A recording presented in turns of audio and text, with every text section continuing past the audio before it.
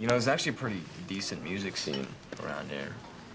You know, if I ever know, you know, I mean, if I ever hear of a good show, maybe, you know, I could I could let you know about that show.